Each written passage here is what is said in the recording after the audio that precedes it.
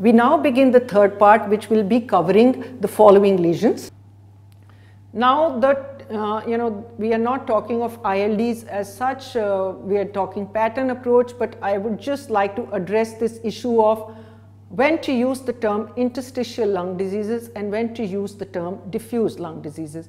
You're welcome to use either of the two terms, they are both acceptable. Just to say interstitial lung disease is a term which is opposite of the alveolar lung disease. That affected the alveolus, filled up the alveolus. This involves the interstitial uh, uh, which surrounds those alveoli. But all interstitial lung diseases are not diffuse. Yeah? So, interstitial lung disease can be like cryptogenic organizing pneumonia, only one lobe. All interstitial diseases are not diffuse. Now we come to the term diffuse lung diseases we have already seen diffuse lung diseases which are not interstitial. We saw bronchopneumonia which had nodules bilaterally, we know pulmonary edema has. So there is no one term to you know describe ILDs but basically you can use, so there are a lot of diffuse DLDs which are not ILDs and a lot of ILDs which are not DLDs. But the term is often used uh, interchangeably broadly when to suspect interstitial lung diseases on a chest radiograph itself.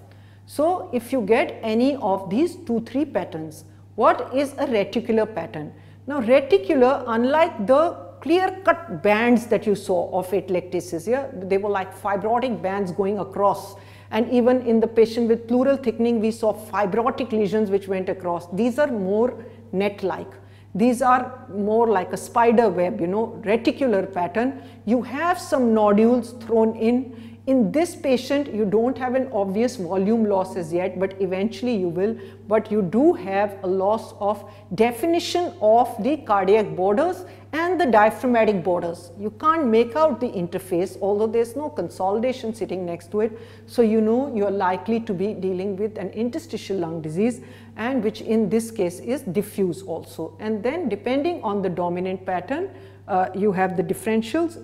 Uh, we can't see all of these now, we'll just see some examples. After you have labeled it the pattern, so we labeled it as reticular, nodular, combined or if you clearly see honeycombing, ground glass opacity we already discussed with consolidation, what is ground.